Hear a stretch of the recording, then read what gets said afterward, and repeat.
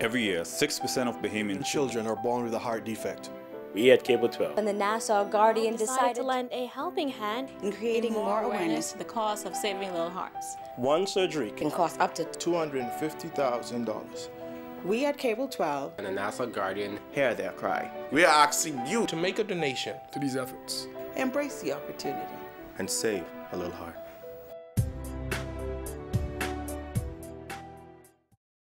It's Wednesday, February 27th, 2013, and this is NB12.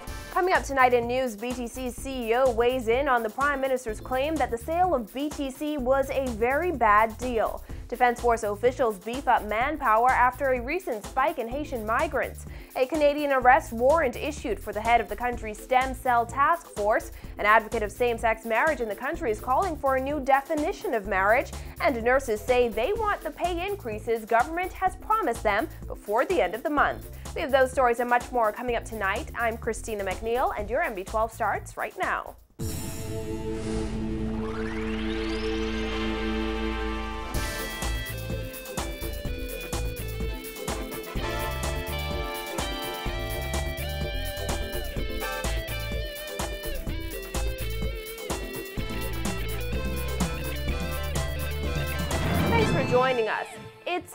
How cable and wireless executives feel about government's apparent inability to purchase additional shares in the Bahamas Telecommunications Company. However, the man responsible for BTC's day-to-day -day operation says he's not losing sleep over it. BTC's CEO Jeff Houston also told reporters today that CWC has significantly improved the telecom, despite Christie's claim that the sale of BTC was a very bad deal. Fanique Toot reports.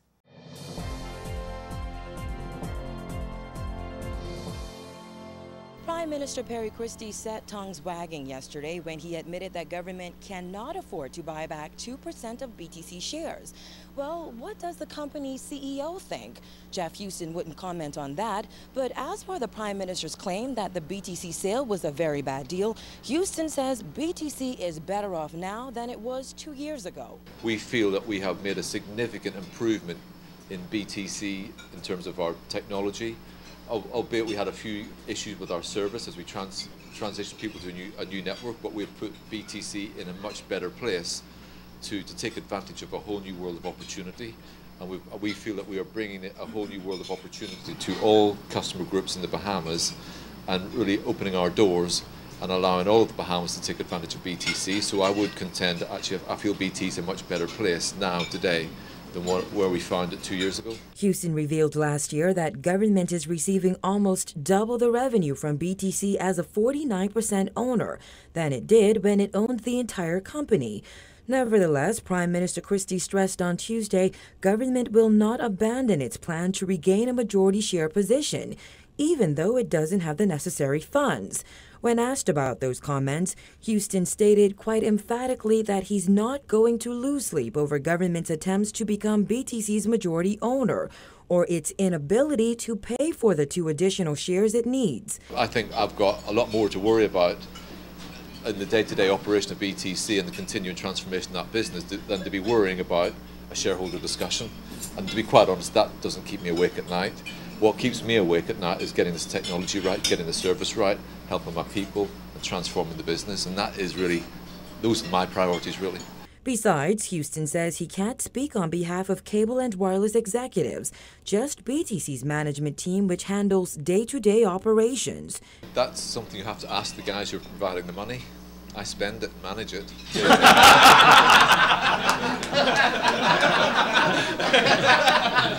He was also unfazed by Christie's plan to appoint former BTC boss Leon Williams as the third director for the government on the company's board.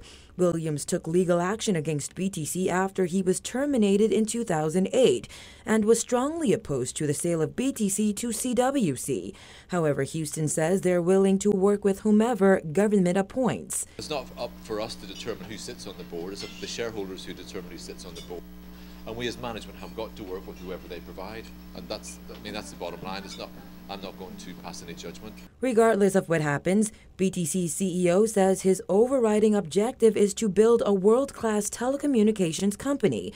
While speaking at the Advanced Toastmasters Club's monthly meeting today, he revealed that CWC has pumped more than $100 million into BTC since its controversial sale in 2011 and plans to invest another 50 million in the next financial year.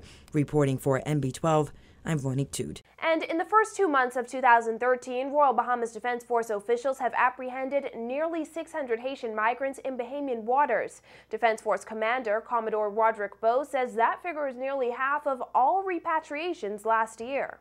According to Bowe, 1,357 Haitian migrants were repatriated in 2012, but so far in 2013, he says the Defense Force has seen what appears to be a spike in Haitian migrants making their way to Bahamian waters. More than 90 Haitian migrants were apprehended on Crooked Island Tuesday afternoon. They were added to the 88 arrested on Sunday and Monday near Exuma and Cat Island. And earlier this month, 187 Haitian migrants were arrested off the coast of Inagua. And so when we look at the almost 600 this year, um, it seems like there is a spike in the number within the first two months of, of, of this year. And so that is um, some reason for concern.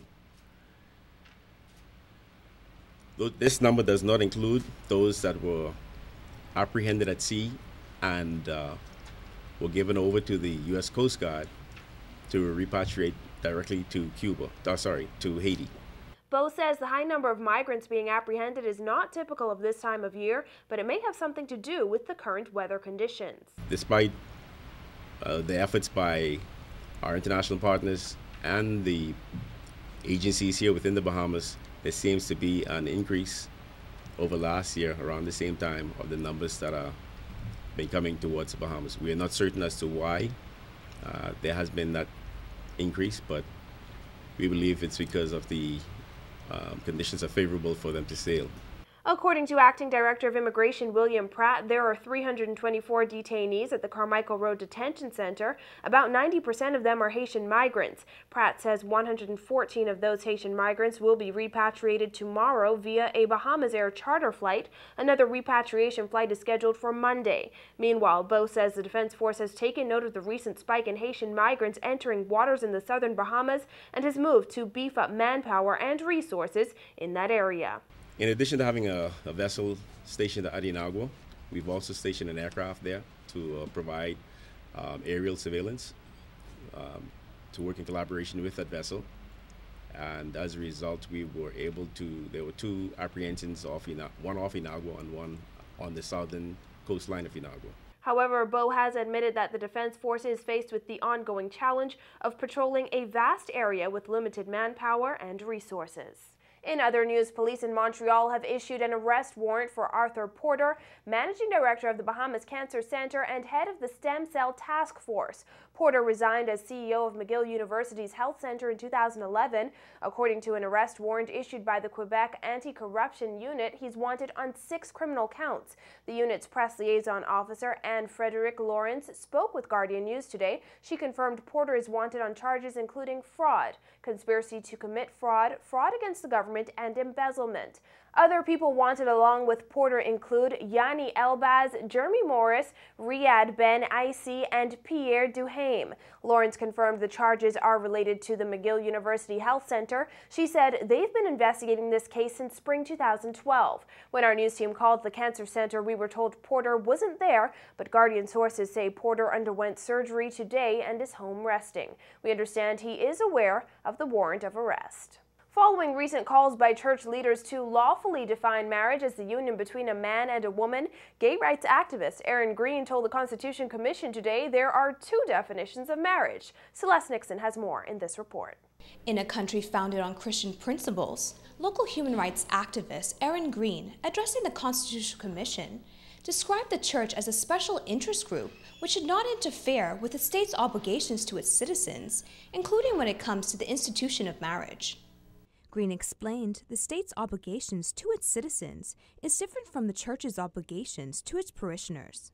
The church in this jurisdiction is a non governmental institution, it is a special interest group. And so, while members of the religious community within their rights, are expressing an, a desire for this, for the state institution to be defined according to their laws, the state has an obligation to communicate to the church that these two institutions are separate and distinct, and that the state has a different obligation to its citizens than the church has to its parishioners. If the state is offering special benefits to married people, then it should not prevent me from getting married because I have a right to share in that benefit if I want to. Greene said regardless of sexual orientation, all citizens should have the right to enjoy the benefits of marriage. For the church to think that they can define the entire institution of marriage according to their rules is dangerous. And I think, I think legally it is wrong. I think that this, the state has an obligation to its citizens that do not adhere to the laws and rules of the Christian church. A former spokesperson for the now disbanded Rainbow Alliance, Greene said members of the lesbian, gay, bisexual, and transgendered community frequently suffer discrimination because people are unable to differentiate between professional standards and personal beliefs. Greene said the Commission has come about as a government decision in response to the growing pressure from the international community. However, she said, its work should be reflective of the will of the people regarding the various recommendations it makes. When the government said, we are going to have a referendum, I do not think that that was prompted or forced uh, to happen by the activities of Bahamians on the ground. Although we have had in the past a strong LGBT lobby, and in certain sectors of the society, we have a strong uh, women's rights lobby that are looking at issues of uh, citizenship in particular, that those movements are not what manifested this committee. That, that that this committee was manifested by the government in response to external pressures, requiring us to, to comply, requiring us to get our laws in line with the rest of the international community. Greene also told the Commission explicit provisions are needed in the Constitution preventing discrimination based on sexual orientation. She noted this would create an environment where Bahamians would be more likely to modify their behavior towards the gay and lesbian community. Reporting for NB12, I'm Celeste Nixon.